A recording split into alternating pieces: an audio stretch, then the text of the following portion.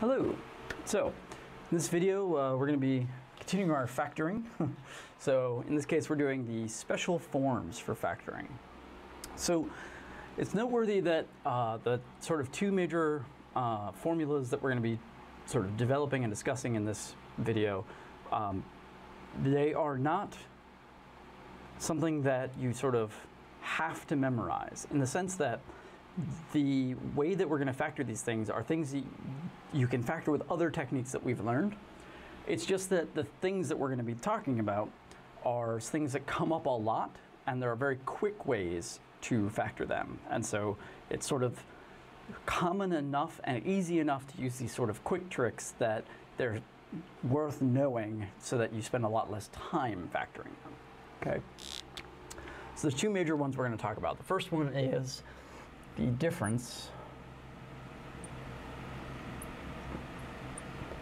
of squares. And I'm putting this in quotes for a reason, which uh, I will demonstrate as we go. So a difference of squares, the sort of fundamental formula, which I'll give you here, is if you have something, some ax squared, minus some other b squared. Where really we could have like by or something in there. Um, so you have a thing squared minus another thing squared. This is the most common way of seeing it, but really all I care about is there's something squared and something squared. It could be all kinds of weird stuff like a function, formula, whatever, squared minus squared, okay? And this then gets factored, if I'm looking at it this way, into ax minus b times ax plus b. So this again is one of those things where it's sort of easiest to see by demonstration. So if I were to look at something like, uh, so for example, if I were to look at 4x squared minus 9, so the first thing to do is sort of rewrite this as a difference of squares. So I'm going to write this as 2x quantity squared minus 3 quantity squared. Okay? Because if I square this, right, I'm going to square the 2 and square the x, gets me 4x, square the 3, that gets me 9. And now it literally just works straight like this. So I take each of the inside pieces, I'm going to start with their difference, although the order you write it in doesn't matter as long as you get them both, and then the sum. Right? And so it just is a very quick, very nice, very easy way to just have the factors all at once. If you didn't remember it, you could actually do this by doing the AC method. And if you did the AC method, this is what you would end up getting to eventually. Okay. Uh, another example, and to show you why I put squares in quotations there, what if I had something like um, 3x uh, to the fourth minus um, in fact, actually, let me initially, I'll make it not quite as terrible as I was just about to make it. So let me make this actually 4x to the fourth minus um, 9. And my goal here is to factor this completely. So same sort of initial setup, but now it's the fourth instead of the squared. So my first term is going to be 2x squared squared minus 3 squared. So this is going to be 2x squared minus 3, 2x squared plus 3. So far, so good, not very hard, right? But my goal is to fully factor this with real coefficients, to be clear, because we haven't really talked about complex numbers much yet. So I have to then go and check these things. This, not factorable with real coefficients, that is, and in fact I know it is because I can think of this as a difference of squares. And now is where that quotes comes in. Because 2 and 3 are not perfect squares, but they are perfect squares of something that isn't nice, right? They're not integer squares. It's not like 2 is some integer squared. So what I have to do is rewrite this as something squared minus something squared. So the way I'm going to do that is I'm going to rewrite 2x squared as square root of 2 2x squared minus square root of 3 squared. Uh, I guess I'm going to do this. There we go. And then I still have this 2x squared plus 3 along for the ride.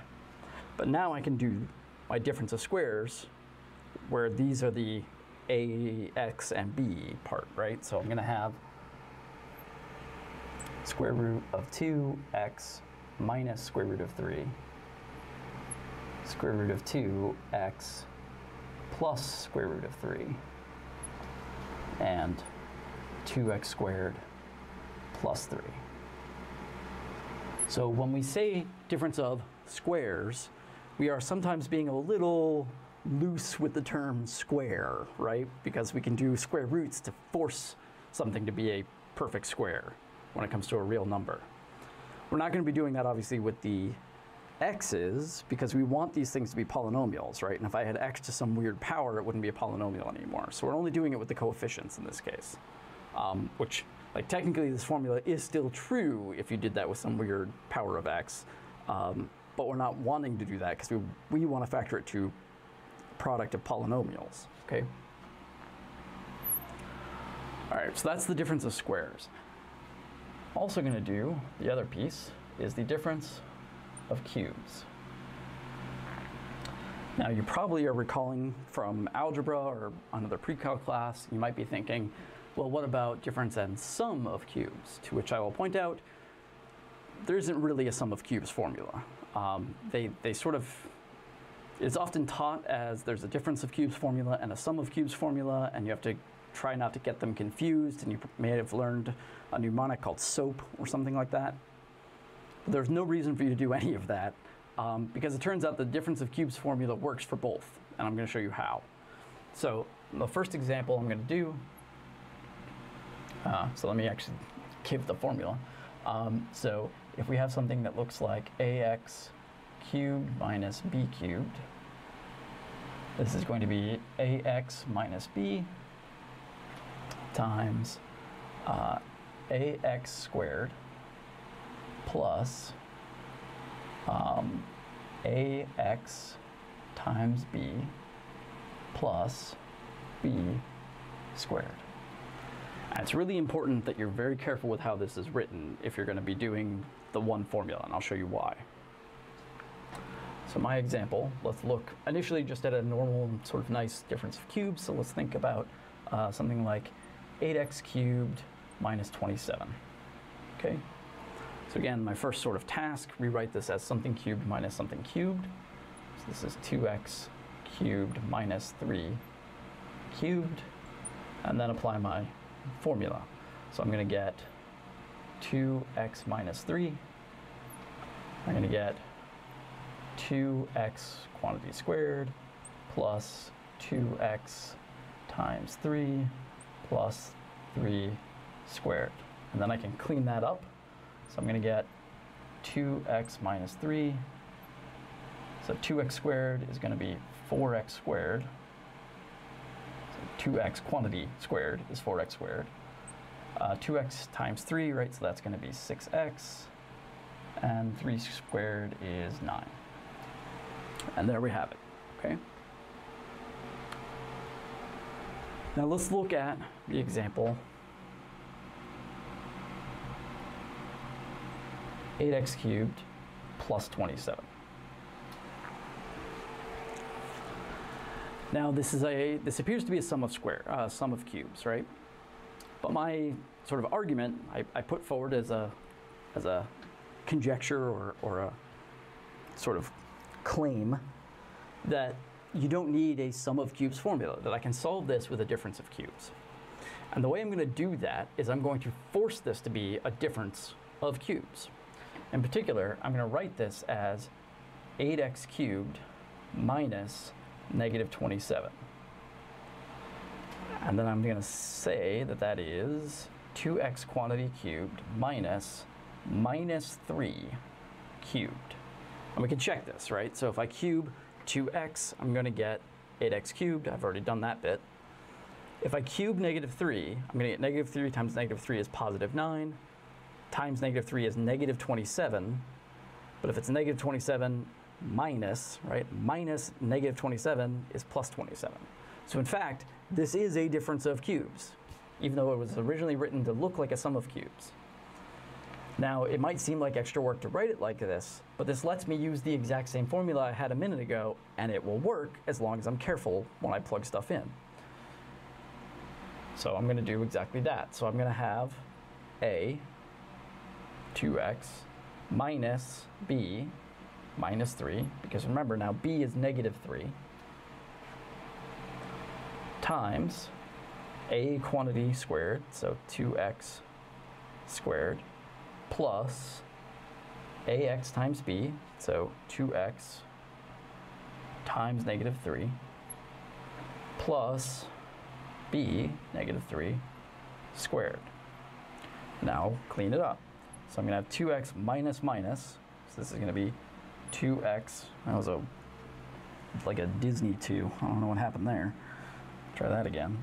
So 2x minus minus, so that's plus 3. 2x quantity squared is 4x. Now I'm going to have plus, but I have 2x times negative 3. So I plus a negative 6x. So I really have minus 6x plus, and then a negative, but squared. So that's going to be plus 9. Okay. And this is, again, the correct one. If you sort of remember your sum of cubes formula, supposedly, right, the SOAP, so the same, right, because it's the same sign at the beginning, but really that's because the negative canceled.